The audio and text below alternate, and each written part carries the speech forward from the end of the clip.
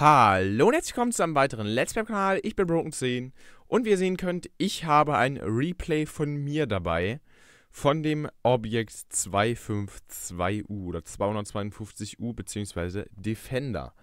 Viele Panzer kennen diesen Panzer als komplettes übertriebenes OP-Tier äh, auf seiner Stufe. Also ähm, das kann ich einfach nur bestätigen. Ich muss sagen, dass das Objekt bzw. der Defender der stärkste Premium-Panzer dieser Stufe ist. Ich kenne keinen Panzer, der wirklich an das heranreicht, was dieser Panzer anstellen kann. Dieser Panzer hat eine unglaublich starke Panzerung und eine unglaublich gute Kanone mit 225 Durchschlag und 440 Alpha. Ähm, also wenn ihr die Möglichkeit hattet, für die Leute, die ihn gekauft haben, habt ihr echt Glück gehabt, weil ich weiß nicht, wie oft es den noch geben wird. Es gibt den bestimmt noch mehrmals im Shop irgendwann jetzt, aber wenn ihr den noch nicht habt und die Gelegenheit dazu habt, holt ihn euch. Er ist ein so ein Prachtexemplar von einem Panzer. Also von den Leistungen her, er ist ein T10 und ein IS-6 zusammengewürfelt. Nur, dass er einfach in allem einfach besser ist. Ähm, na gut, von der Schnelligkeit ist er jetzt ein bisschen langsamer als der T10. Natürlich T10 ist Stufe 9, der hat dann natürlich ein bisschen andere äh, Verbesserungen, Kanone und so, ist natürlich viel besser und so ein Krams. Aber ähm, auf seiner Stufe finde ich ihn mit einer der stärksten auf Stufe 8 wirklich generell. Also der stärkste Premium-Panzer auf Stufe 8 und der stärkste Panzer auf Stufe 8 mit, also nicht, ja, mit vielen anderen. Früher war es ja der T34, der sehr, sehr stark war, aber er wird er wurde einfach überrannt, weil der T-34 hat einfach keine Chance mehr gegen die jetzigen neuen äh, Stufe 8 Panzer. Der Patriot ist sehr, ein sehr, sehr starker Panzer. Oder der Liberty oder sowas. Das sind alles sehr starke Panzer. Da kann ein T-34 oder eine IS-6 oder irgendwelche älteren Premium-Panzer einfach nicht mehr mithalten. Und das seht ihr jetzt einfach an diesem Replay, wie leicht man einfach in kürzester Zeit zum vierten bis fünften Mal seinen Meister machen kann. Also das ist jetzt mein viertes oder fünftes Mal Meister-Replay. Ähm, man kann hier wirklich in kürzester Zeit das komplette feindliche Team überrennen, weil sie einfach keine Chance haben. Entweder kommen sie nicht durch oder sie machen zu wenig Schaden oder wie auch immer. Ähm, ja, ganz wichtig. Wo kommt ihr durch für die Leute, die es noch nicht wissen, aber es müssten zwar aber eigentlich wissen. Äh, Schwachstelle, Unterwanne und diese kleinen Capola da oben. Genauso, wenn er so steht, könnt ihr auch gerne da reinballern, aber es klappt nicht immer. Und, ähm, ja. Einziger Nachteil ist bei der Kanone, sie zielt, wie ihr seht, schon relativ lange ein und verschießt auch sehr gerne. Ich habe hier eine 5, eine 4,5 Skill Crew drauf, also per Crew, Crew drauf. Ähm, oh, Entschuldigung. Also ich habe hier 4,5 Skills drauf, oder sogar ein bisschen mehr. Auf einer, also ich habe 4 Skills und 60% auf einer anderen Skill. Also hier ist eigentlich die geilste Mannschaft drauf in meinem, in meinem Account. Ähm, ja, und ihr seht jetzt hier einfach... So, ein Snapshot hat gelungen. 399 Low Roll ist aber völlig wurscht. Der Panzer 58 Mutz macht das einzig Blöde, was er machen kann. Ab jetzt kann er sich nicht mehr bewegen. Er bewegt sich, kann sich kein Zentimeter bewegen. Ihr könnt ihn ohne Probleme rausnehmen. Jeder Leitpanzer oder so, wenn er an der, an der, Wand steht oder so, schiebt ihn einfach dagegen. Er versucht dagegen anzukämpfen, kann er aber nicht. Der Panzer ist auch sehr gut zum Rammen. Hier vorne ist eine Spitze. Wenn ihr damit Panzer rammt, da kommt ihr auch gerne mal locker schöne Ram Rammschaden hin. Ihr seht, der Mutz konnte sich keinen Zentimeter lang bewe bewegen mehr und konnte sich auch nicht mehr wehren. 1300 Schaden einfach einen ganzen Mutz rausgekloppt, ohne dass er uns ein einziges Mal Schaden machen konnte. Er hat drei bis viermal, nee, dreimal auf uns geschossen. Hat aber jedes Mal gebounced, ist auch klar. So, ich sehe jetzt hinter mir ist ein Tiger 1. Alles kein Problem, einfach durchfahren. Auch wenn er, bis wenn ein Panzer mal durchkommt, ihr habt genug Live, 1500 Live ist zwar ein Standardwert, aber bei dem Panzer ist es echt wirklich Hammer. Die Arti ist da hinten, verschießt. Ich denke mir erst, ich nehme erst die Arti raus. Die fährt weg. Egal. Nehmen wir das Ding. Zack. So. Ähm, auch noch ein kleiner Trick, den ihr machen könnt. Immer in die Gun reingucken. Ja, hat mir jetzt geholfen, der äh, Suppen Pershing. Also ihr seht, es ist relativ einfach, hier wirklich alles wegzukloppen. Also, hier kommt die S51 rumgefahren, wenn ich rausnehme. Zack, weg, tschüss. Ähm, ja, so schnell könnt ihr einfach mal Panzer minimieren. So, wir sind jetzt gerade mal bei 2500 Schaden. Wir sind gerade mal bei der Hälfte angelangt. Also, ist echt Wahnsinn. So, ich setze jetzt die Gegner unter Druck. Ich stelle mich jetzt da in das Ding rein. Um damit halt die Gegner unter Druck zu setzen. Also mit diesem Panzer könnt ihr wirklich sehr viel Spaß haben und ihr werdet auch viel Spaß haben. Ich habe einen Snapshot gemacht, hat leider nur getrackt. Ja, da hört das immer die, die russische Sprache. Aber die Russen sind ja dafür sowieso bekannt für ihre Heavys, dass sie wirklich sehr, sehr stark sind. Zum Beispiel die IS-7 mobil und sehr, sehr stark, also. So, jetzt kommt dann also ein Tiger P. Und ein T-3485. So, mal gucken. Oder habe ich kurz gegähnt? Entschuldigung.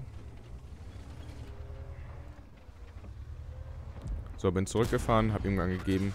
Der T-3485 hat mir äh, einfach mal mit HE seitlich eine gedrückt. Ist ja gar nicht der M, das ist ja nur der T-3485. Entschuldigung, ich habe mich vertan. So, hier beim TKP. Einfach oben auf der Schüssel. Hier seht ihr 425. Ihr macht so manchmal so 470er Hits oder auch manchmal Low Rolls, aber es kommt immer je nachdem an, ob Wargaming auf euch Bock hat oder nicht. Erstmal TKP rausnehmen. Erstmal die ganzen Kanonen rausnehmen. So, jetzt kommt das Scorpion G an. Scorpion G ist bekannt dafür dicke Durchschlagskraft. Er kommt nicht durch, er bleibt in meiner Kette hängen. Und ich denke mir, er ist nur noch ein Pilot und T-3485. Denkst du, dir fährst du vor. 3400 Schaden in kürzester Zeit. Innerhalb von 6 Minuten passt. So, drehen, drehen, drehen. Die Unterwande immer versuchen zum Feind zu halten. Er kam jetzt durch, leider. Ich habe ihn jetzt nur getrackt. So, jetzt habe ich, hab ich ein kleines Problem. Er kommt nicht durch. Er auch nicht. Daran seht ihr einfach mal, die Panzerung ist wirklich sehr stark. Ich nehme jetzt als erstes den Scorpion G raus. Es ist taktisch klüger, die gehörigen Kanonen rauszukriegen, weil ein Scorpion G kann mehr machen als ein Pilot. Ein Pilot kann euch zwar umfahren, aber ein Scorpion G ist in dem Punkt mehr gefährlicher. Weil er, wenn er 500er Rolls und eine sehr gute Kanone hat er. Und daher. Jetzt habe ich auch noch den rausgenommen. Das war ja relativ einfach. Ähm, ja, einfach mal einen fünften Kill gemacht mit fast 4000 Schaden. Wir haben aber noch, immer noch nicht das Maximum aus unserem Team rausgekratzt. Ist noch ein bisschen was übrig. Wir brauchen noch ein, ein Kill zum Krieger. So, der Löwe. Ah, hier, guck mal, der steht da schon schön. 403. Da ist der Löwe weg. So, jetzt gilt es, die IS-3 zu suchen.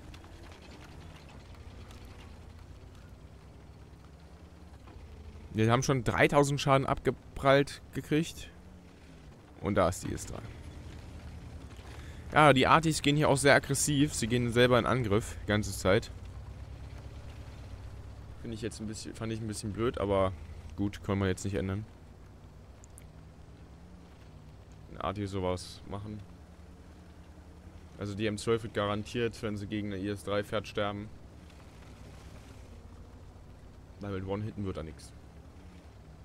So, ich dachte mir jetzt, die äh, Dings, der IS-3 ist zur Einsatz 2 zum Captain gefahren, aber es wird nicht so sein. Was ich jetzt nämlich hier gerade mache, ich fahre nämlich komplett in die falsche Richtung.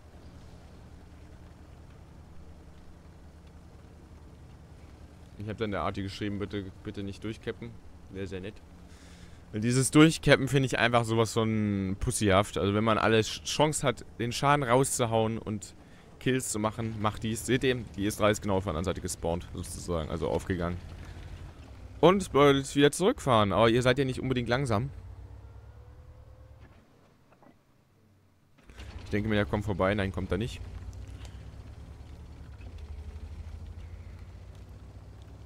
Ich hatte hier natürlich auch noch Unterstützung vom Super Pershing, der mir ab und zu mal den Rücken freigehalten hat.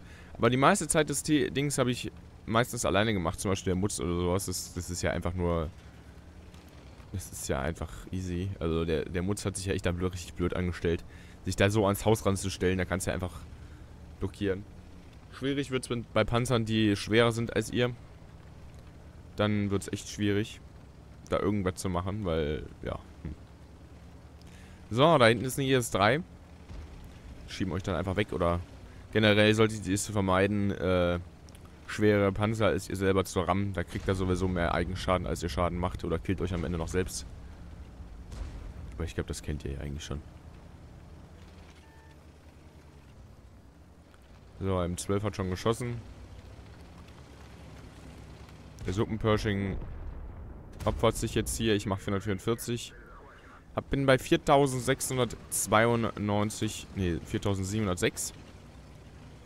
Jetzt ist genau noch diese IS-3 da. Hat mich angezündet. Ich habe einen automatischen Feuerlöscher dabei. So, ich bin nachgeladen. Jetzt, ich schieße nicht einfach drauf, weil das mir meine Chance minimieren könnte, dass ich gewinnen kann. Deswegen, ich warte jetzt, bis ich den günstigen Moment habe, dass ich schießen kann. Wie ihr seht, ich gucke erstmal, dann gucke ich seitlich, lasse ihn vorfahren und kill ihn. Das ist ein ganz wichtiger Schritt, wenn ihr genau ne gegenüber euren Gegenüber seid. Ähm, lasst, wartet, bis ihr wirklich schießen könnt. Was bringt es euch, wenn ihr am Turm abprallt und er dann vor euch wegfährt? Dann der, habt ihr keine Chance mehr, ihn rauszuhauen, sonst kloppt er euch noch raus. Also ganz wichtig, wartet immer, bis ihr schießen könnt. Und dann habt ihr auch euren schönen Schaden dabei. So, jetzt kommen wir zur Auswertung. Ähm, Sekunde. Da ist die Auswertung. So, wir haben den Ace Tanker, Hand of God, Breasure, Duelist, Fake, Shellproof, Steel Wall, High Caliber und Top Gun. In einem Gefecht 138.263 Basis ähm, Credits, ganz einfach, und 2597 Basis XP.